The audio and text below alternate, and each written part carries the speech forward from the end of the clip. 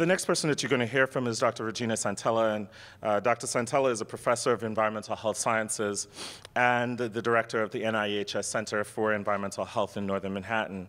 She's got extensive experience in the area of chemical carcinogens and molecular epidemiology. Um, but for us, uh, Dr. Santella, or Regina as we like to refer to her, has been a longtime partner in the struggle to make sure that environments, particularly in northern Manhattan, are healthy and that we are armed with good evidence to fight the fight to change policy uh, that marries our organizing to effective strategy campaigns. Dr. Santella. Thank you, Cecil. It's my pleasure to welcome you to this conference. The Columbia's NIEHS Center for Environmental Health in Northern Manhattan has worked for many, many years uh, with WE ACT as our community partner. The center is funded by the National Institutes of Environmental Health Sciences to look at environmental causes of disease with the goal of disease prevention. Uh, the researchers in our center, about 30 some odd researchers, uh, do a myriad array of different types of research from cell culture studies, um, animal model studies, to population studies, including molecular epidemiology studies, where we're trying to understand the role of the environment and genetics uh, jointly in terms of disease causation. Uh, we work in several specific areas. Uh, a lot of the work at the center is related to respiratory diseases, uh, specifically asthma, chronic obstructive pulmonary disease, where we have basic studies and we also have population studies. And a lot of the asthma work has been done in northern Manhattan trying to look at environmental exposures in the home related to allergens and also environmental pollution related to truck, car, and so forth. We also have research related to environmental causes of cancer. And then also the, the final category of research is related to neurologic diseases. And what is the role of the environment in terms of neurologic uh, uh, neurodevelopment, so from early life factors, early life exposures into adult health, uh, what is the role of environmental exposures in uh, brain development, in uh, neurologic diseases such as essential tremor, uh, ALS, uh, Parkinson's, and so forth. And so, the, as I said, the major goal is really to understand environmental causes, and then once we have more data, then we can look to diminish these exposures and hopefully improve the public health. My own research, as Cecil mentioned, is in environmental causes of cancer. Um, I don't know a whole lot about healthy homes, but I obviously have a home, and I would like it to be healthy. So I'm really looking forward to learning a lot more at this conference.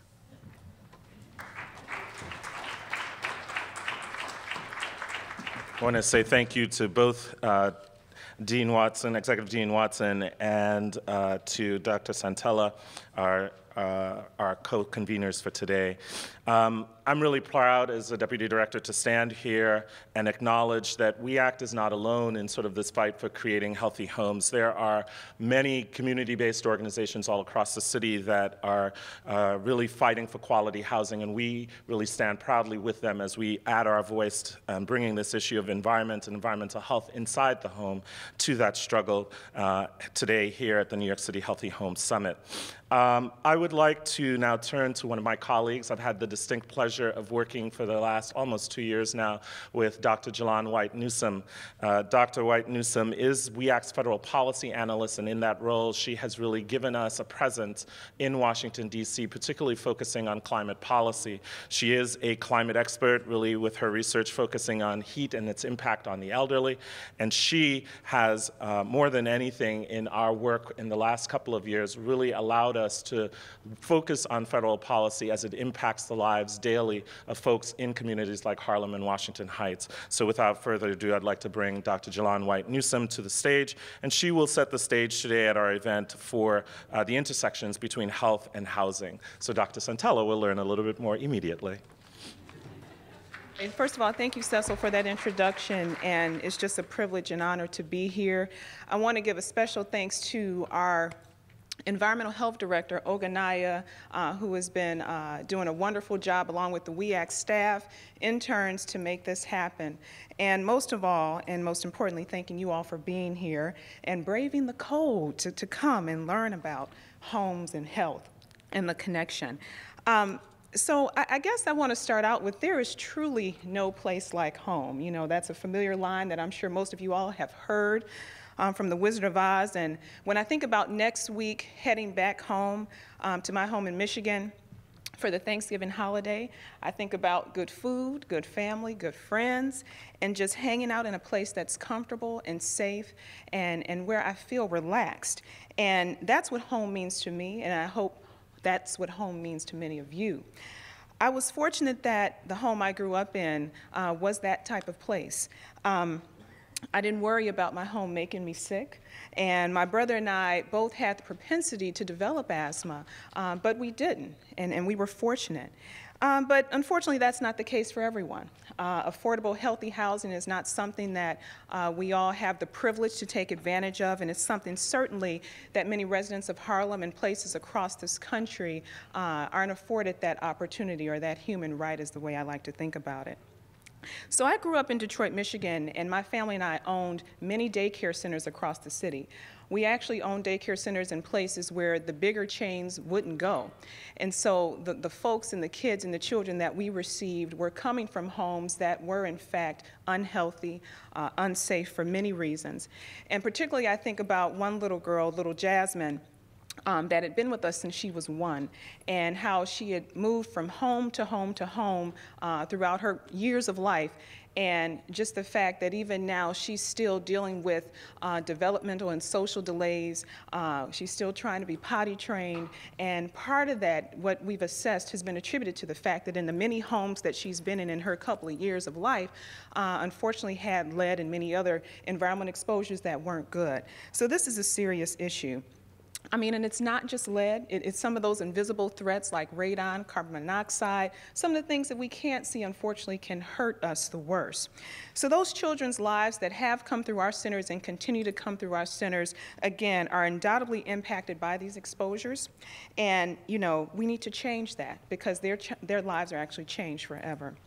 And so I share my experiences from Detroit, but I know that WE ACT's uh, community outreach coordinator for our Healthy Homes program, Anna, could probably share similar stories uh, from Harlem and many of the boroughs in this area. And so I know many of you can share those same stories just because of the work that you're engaged in.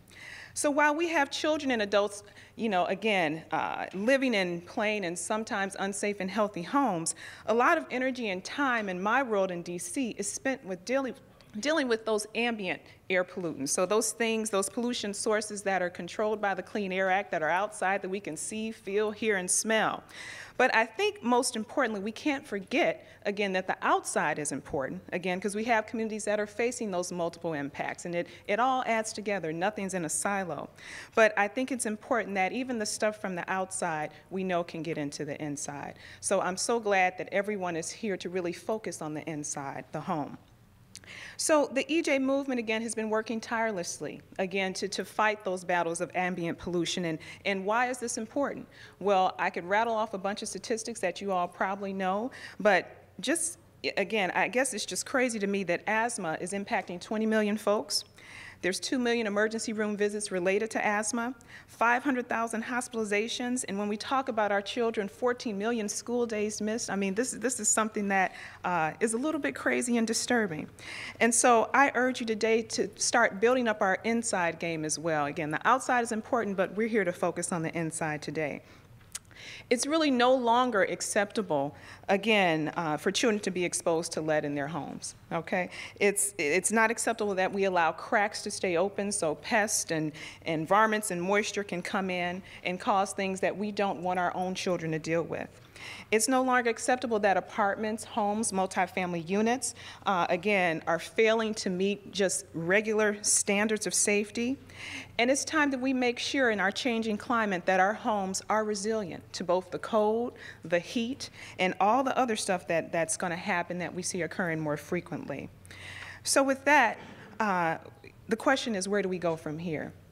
And I was uh, enthused because the next session after this is talking about solutions. I mean, we all know the problems, we all know the issues, um, we have the data and the stats to support it, but let's start talking about solutions. And so, fortunately, Harlem is not like Capitol Hill, where, you know, because of elections that happened a couple weeks ago, we probably won't see any environmental stuff progressing or happening the way we'd like it to be. So I'm excited because you all have the passion, obviously, you have the power, and you have the propensity to make a difference right here, starting in Harlem, that can hopefully teach some lessons to our folks on Capitol Hill. So don't let this moment pass. Each of you in this room is an expert at something whether it's urban planning, housing development, or just you know from your experience living in a home that's unhealthy. We are all here together today to take advantage of this opportunity to learn from each other and to, again, really push those solutions that can protect some of our most precious populations, our children, our elderly, and each one of you. So, as a public health researcher, as an EJ advocate in DC, and most importantly, a mom of two little girls, a healthy home matters. And good policy, like the Asthma Free Housing Act of 2014, that I'm sure we're going to be discussing today, is something, it's a no brainer. So let's go ahead and make it happen. Like Dorothy said in The Wizard of Oz, there is no place like home. So let's make sure that everyone here in Harlem and across this country can ultimately live in a safe, healthy home and enjoy the holidays and beyond. So thank you for your time. Um, we want to thank all of our conveners sponsors and media sponsors uh, for the summit. Those are folks from the Columbia NIEHS Center for Environmental Health in Northern Manhattan, the Milano School of International Affairs, Man- Management and Urban Policy.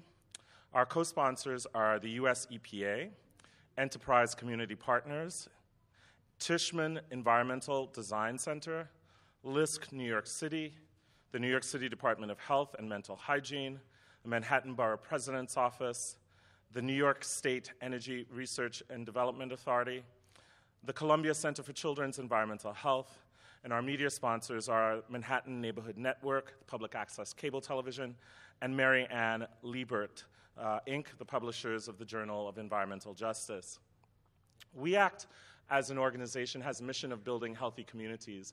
And we do that in eight key ways. But for today's, for today's purposes, one of the key ways that we do that is by really protecting uh, healthy indoor environments in low income communities and communities of color. Um, we've been around for 26 years, and we believe in base building organizing to get those who are on the front lines and in impacted communities engaged in developing policies. That, for us, is our theory of change, and that is the way that we see building systemic change to further improve the lives, especially of low income people and people of color in the communities, uh, not only in West Harlem, Central Harlem, and East Harlem, El Barrio, and Washington Heights, Inwood, where we organize, but all across New York City, all across New York State, and all across this country. Today, um, we're really excited to uh, bring forth some of our co sponsors and conveners uh, to give a welcome to you. We are starting a few minutes behind, um, so I want people to come on in, and I'm going to invite um, our uh, first panel of folks to offer their welcome to come on up. Um, and uh, Mary and Regina, would you all please come forward? I'd really uh, like to thank Mary Watson, who's the Dean of the New School for Public Engagement, Executive Dean, sorry, and uh, Dr. Regina Santella, the head of the NIEHS Center uh, for Environmental Health in Northern Manhattan. So, without further remarks, I'd like to ask Mary Watson to come forward, please. Thank you. Thank you, Cecil. So, it's my distinct um, privilege and pleasure to welcome you here to this summit today. Um, I'm Mary Watson, Executive Dean of the New School for Public Engagement, and on behalf of President David Van Zandt and the New School as a whole, we are thrilled to host you here in our space um, today and tomorrow for this very important convening. Um, you may be aware that this space that you're sitting in now, um, now known as the um, auditorium at the Tishman Center, uh, the auditorium that used to be known as the uh, Tishman Center, um, has been named one of the 25 most influential rooms in universities in America.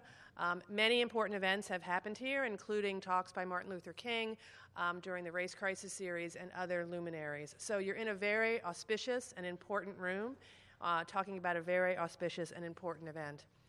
Um, the New School has, for more than 100 years, been working on reimagining higher education, and I think the work you're talking about here reflects the kind of ethos and spirit that we have. Um, in particular, co sponsor of this event is the Milano School for International Affairs, Management, and Urban Policy, which has been working on the issues um, of housing policy and affordable finance, especially how they connect to communities of color and low income uh, neighborhoods, and how in indoor environmental conditions are relevant in those spaces. Milano offers courses on housing policy and housing finance, and in partnering with the Parsons School of Design, Stevens Institute of Technology, and Habitat for Humanity, uh, created two homes for the Deanwood neighborhood in Washington, D.C., as part of the competition called the Solar Decathlon, uh, sponsored by the U.S. Department of Energy. The new school won first prize for affordability in that competition, but what more, what's more important is that those two homes, unlike others created for the competition, remain permanent homes for two low income families in Deanwood, Washington, and influenced Habitat for Humanity's policies on how they look at affordable housing that's also sustainable. Um, we have many uh, folks uh, at the New School and at Milano who are connected to WE ACT and the work that you're doing, but I want to call out two in particular. The first is Dennis Derryck, who is the um, founding board chair and long term chair, although now currently on the board of WE ACT. Dennis is a faculty member at Milano and has been um, building a lot of um, progress in his current project, Corbin Hill Farm. And I also want to call out Jennifer Terry, um, who's an Milano alum, who's program manager at Rebuilding Together NYC. Jen was just named Staff Member of the Year across 166 affiliate organizations for the work that she's been doing helping, pres- helping preserve and create affordable and healthy housing uh, for New Yorkers. So, without further ado, I want to turn the uh, event over to our next sponsor and welcome you all to this event. Thank you.